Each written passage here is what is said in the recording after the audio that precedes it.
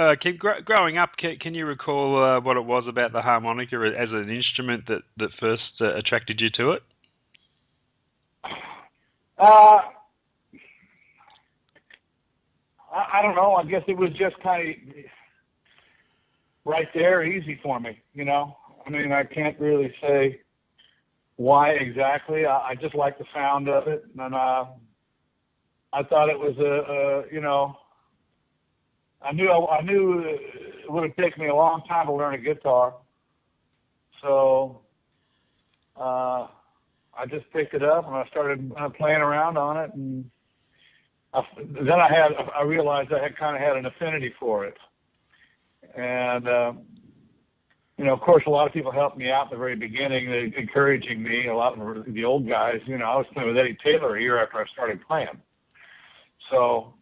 Uh, it was uh, with that kind of encouragement, people telling me that they liked it, I just kept going. Tell us about uh, your involvement in music before the, the Fabulous Thunderbirds got together. What, what were up to? Well, I was out there in California, and uh, I was uh, had a couple bands, you know. I had a lot of bands actually before I got with the uh, Thunderbirds. Uh, just playing around, trying to learn, you know, playing with a lot of the old guys. Like I said, you know, back then I was playing with uh, Eddie Taylor, George Harmonica Smith, John Lee Hooker, Furry Lewis, Johnny Shines, Pee Wee Crayton, Lowell Fulson, Albert Collins. I played with, I played and knew all those guys very well before I ever got, uh, before I ever started the T-Birds. Um, you were still a teenager when you were playing with some of those legends. Was it was it hard not to be overawed by it all? Did the significance of it sink in with you at the time? Of course, you had to pinch yourself. You, you had to pinch yourself, but then you had to learn how to, you know, you had to get up there and do something. Otherwise, you realize you're probably not going to get back up there. You know, I mean, back in that time, uh, you know, it wasn't easy for a person to get on a bandstand if they weren't ready. And, you know, now it's just common that people are, you know, 90% of the people out there are on a bandstand when they're not ready. But back then, if you got up when you weren't ready and you stunk it up, you weren't going to get back up there for a while or ever. So, uh, you know, uh, I guess I was ready at that time. I mean, I was playing with all those people, and uh, it was, uh, you know, play, playing with people like Muddy Waters. Of course, I was in my early twenties when I was playing with Muddy and Jimmy Rogers, and um, you know, uh, and that was incredible. I know I never took it for granted. I, I just really appreciated every moment of it, and uh, uh, it's it's been a great run for me as far as that kind of stuff goes. I mean, uh, I pretty much live for those people still. I don't really, I don't really live for much of anything else except for those old guys. And uh, every time I pick up a harmonica or I open my mouth to sing, it's really for them. Muddy Waters, in particular, had a, had a reputation of supporting younger musicians on the way up, and, and now, as an experienced musician yourself, you seem to be going down that same path. Do, do you feel having that youthful enthusiasm around you is infectious? I'm sorry. Muddy do I have the youthful? Youthful. Do I have the youthful what? Do you feel that having youthful enthusiasm of younger musicians around you is is infectious? Oh yeah, I do. I, I like the idea of, of young people picking up the instrument, doing the right thing with it. You know, it's very rare when you really find that, but when you do find it, you you, you uh, encourage it, uh, try and nurture it the best you can. Uh, like like the guys in the Thunderbirds right now, they're a little younger than me, uh, quite a bit younger actually, and uh, you know they're they're uh, yeah just that energy, you know, just the energy of it, and and uh, I, I'm one of these people, you know, I never really grew up anyway, so uh, I'm, I like having people who are as immature as I am around me.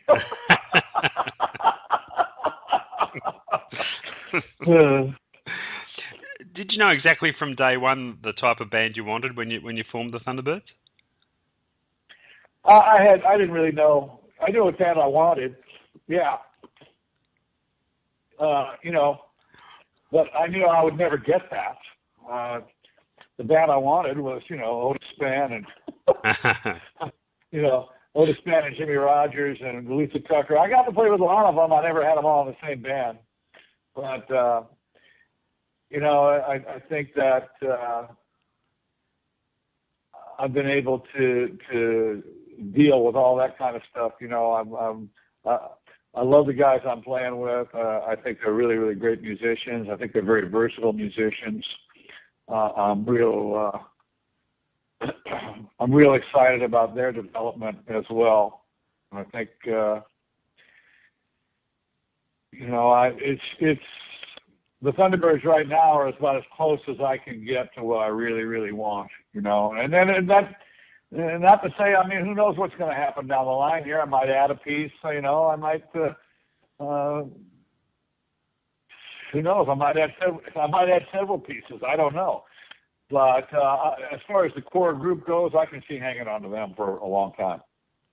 It'd be safe to say, I guess, the Thunderbirds aren't really the straight ahead blues band that it may have been in, in the early days. Do you think uh, the evolution of style changes you've gone through the years has contributed to uh, the band's longevity? Help keep things fresh? Absolutely. I think, yeah, it does keep things fresh. I think that uh, you know, uh, my philosophy has always been from the very beginning uh, that you just have to play the music that you like. You know, it all goes hand in hand. Uh, blues, soul, R&B, rock and roll, all that stuff goes hand in hand. And uh, you know, I really learned it from James Cotton on the first on that first Verve record that he had. You know, he was singing "Knock on Wood" and "Something You Got" and all this stuff but he was also doing then off the wall and and uh, blues in my sleep and don't start me talking, and then he'd go to like a little Milton doing uh, Need You So Bad and, and Sweet Sixteen by BB King. So he was covering a lot of bases. Uh, and, and that's really, uh, he really legitimized all that for me when I heard that. And that was at a very, very young age. Yeah. So, you know, I think that you really have to go in a lot of different directions. You know, I, I have this pop music side to me as well. What I think is pop music. I don't know if that's true, but but you know, I, and I think that, that I have this kind of solely R and B side that I'm tapping into on this new recording by the Thunderbirds. I think that uh, uh, I'm really uh, in, enjoying being able to do all the things that I'm able to do. You know, there's no reason why you can't do something that you're able to do musically. Mm. If it's cool and you like it, you know. Um, so that that's what I'm trying to exploit in myself. I'm trying to exploit the the, the, the different directions that I can go in, and and you know, it also gives you a little bit better chance for for success. You know, you bring in a few more, you know, a few different people in your audience that wouldn't necessarily listen to straight blues, and and uh, you bring a lot of people playing blues. You know, when you're playing blues, you, you bring a lot of people in from the other side who might not even have known what blues was. So as long as you're playing legitimate music and it's good music uh, and uh, it's cool, hey, knock yourself out if you're able to do it. Yeah, couldn't agree more. Uh, have you ever stopped to ponder what career path you may have taken had you not made that initial move to Austin, Texas, and, and formed the band? way back when? Oh, I thought I, I thought if I you thought you were going to say if if I decided not to play music or no, I don't know.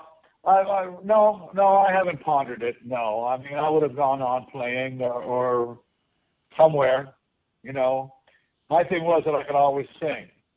Mm. So uh, no matter what level I was at, I was a pretty good singer, and I think that that uh, the singer is always in control of his own destiny. You know, I, I think if you don't, if, if you're not a good singer, you might have difficulty out there being just a guitarist or especially just a harmonica player.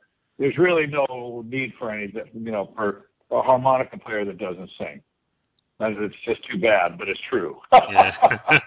so, so, uh, you know, I always had, uh, like I say, uh, uh, I had a pretty broad musical spectrum that I that I enjoyed. You know, of course, I love the blues. Uh, I love, you know, the real blues. That's what I love.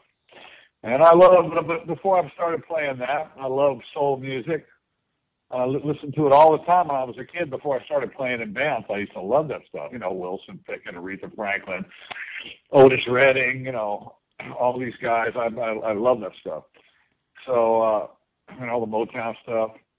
And that was those were hit records when I was a kid, so that it was easily accessible.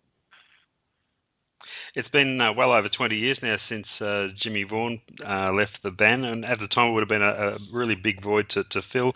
Were you pretty determined right at that time when when you got that news to, to keep the band going no matter what? I didn't take much determination. It was pretty easy to do. Yeah. I mean, I had I, I've had nothing but great players around me the whole time. Uh, you know, uh, it, it was just business as usual. We didn't we didn't ever stop, and uh, you know, started out with with Robillard and Bangham, and then Kid Ramos, and now uh, then Nick Curran, and and uh, well Troy Gonyea was in there, Nick Curran and Kirk Fletcher. Um, now now these new guys, and uh, you know, uh, I've enjoyed all of it. You know, they're all world class musicians, um, and I, I think they all really have uh, something to say. As much as no no one of them has more to say than the other one. You know, mm. uh, I, I got uh, these guys right. These guys right now that I have are really really good. I mean, really, like I say, very versatile. Can play blues. You know, we're back to playing some blues now. We went to we went through the period where uh, you know uh, playing blues was a little bit discouraged by by people in my organization, and uh, you know, and that was a long, long, long time ago. That was back in the tough enough days, and I, and so that's when I decided to strike out on my own and do do a bunch of solo stuff, and I'm still doing that. But but I always have to have that that side of me uh, satisfied and when people are telling me to get out of that mode, uh, you know, totally, uh, you know, I just I'm just not going to do it. Mm. So, uh, you know, because that's where I live. That's really the basis for everything that I do is is that blues stuff, you know. Uh, and so I think that, uh, you know, now it's, it's kind of been a few years in the process, but, but we really come back to when we do play some blues, it's real and and it's uh, that's very very important to me. And not, not only that, but but uh, predictable things to me just can't happen. I I just won't allow that. I I have to keep the music fresh. Everything is improvised in what I do. My set list is improvised.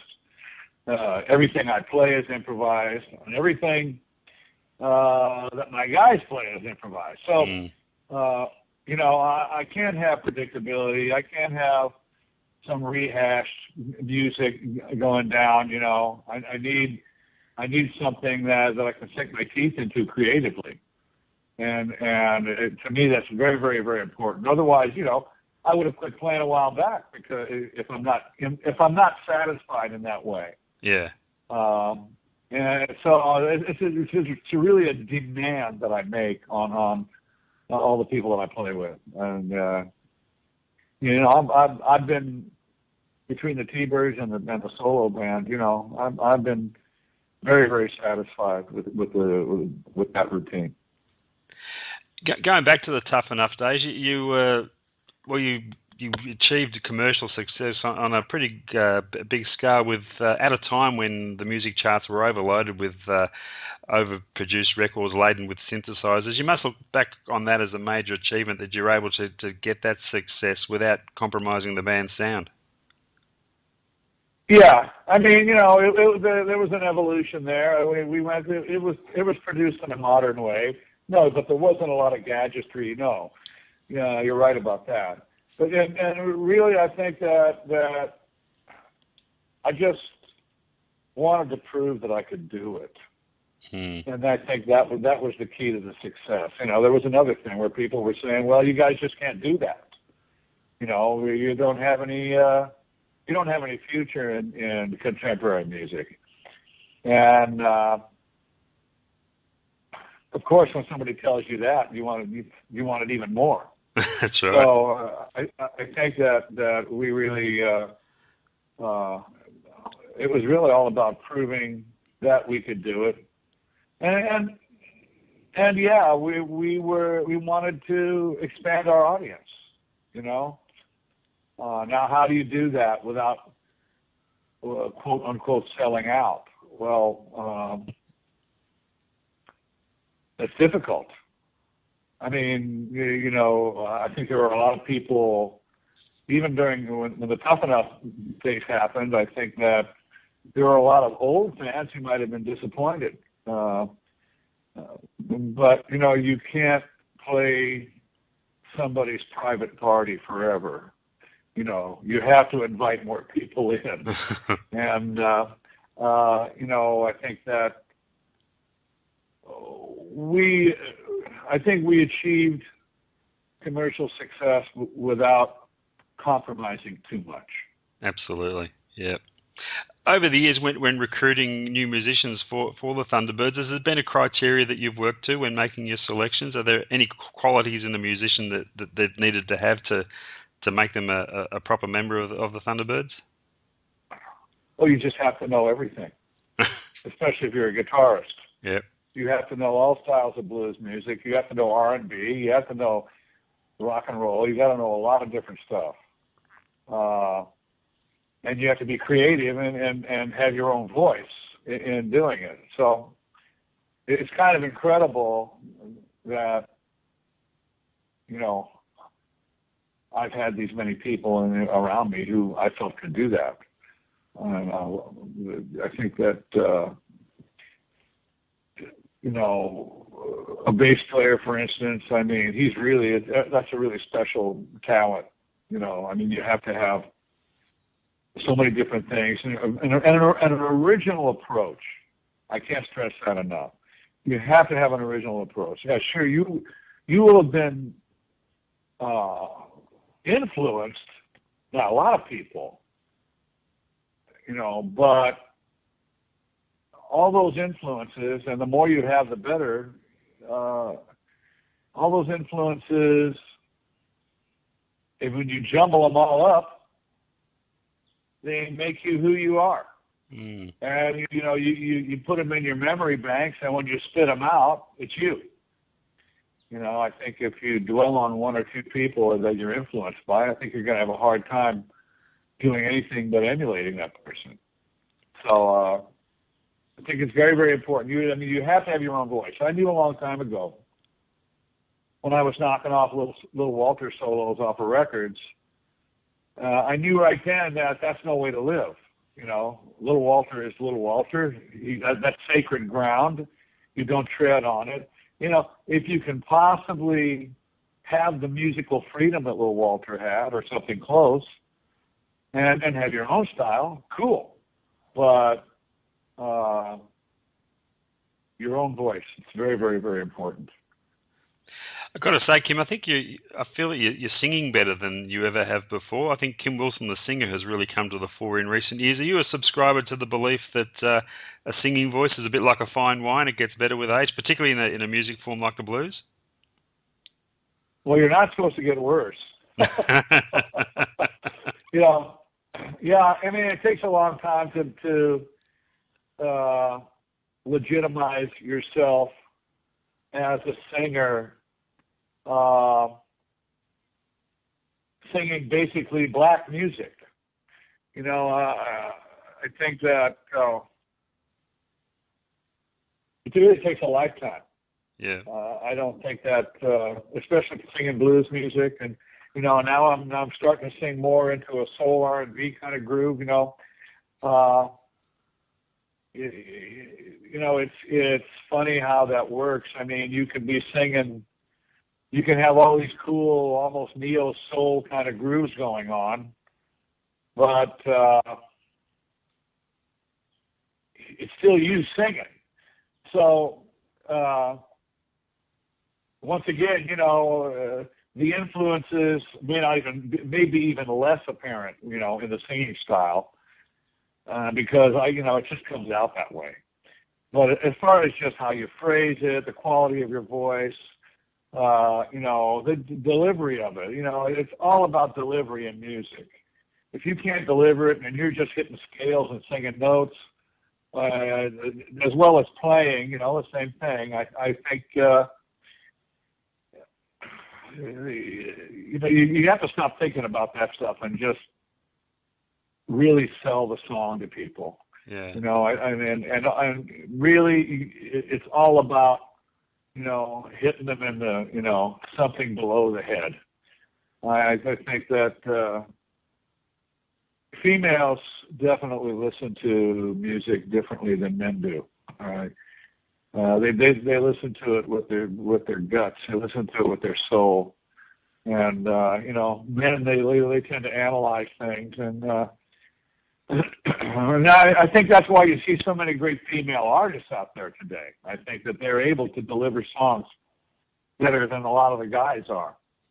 Uh, you know, because it, it, you know it's it's all about the emotion and setting the the tone, setting the mood and and and you know spilling your guts to the people. Uh, it's very very important. Being the the only original member of the band remaining, I get the impression it's been particularly important to you to keep presenting the band as a as a whole unit, not just Kim Wilson with backing band. Would that be a fair comment? Absolutely. Yeah. Absolutely. Sure. Of course. Uh, everybody in the band is a focal point. You know, it's not me in a spotlight and uh, everyone else in the background in the shadows. No, everybody gets. Uh, that's the beautiful thing about this gig for for players who come in. That's one. That's one of the reasons they they enjoy coming in is because uh, they're gonna. They know they're gonna get a lot of time. You know, and and that's uh, it's important to me. I mean, uh, it's another reason why you have longevity is that people aren't just focused on you. There's a lot of different ways to go. It's really part of the show. Having great people, uh, uh, great soloists up there uh, who are also you you can you can focus on people just playing a rhythm part, and uh, yeah, that's that's always been very important to me. Sure. Uh, tell us about the current lineup and the guys that are coming down uh, to Australia with you and their backgrounds. Well, you got the Moeller brothers, Johnny on guitar and Jay on drums, and uh, I've known uh, I've known them since they were teenagers.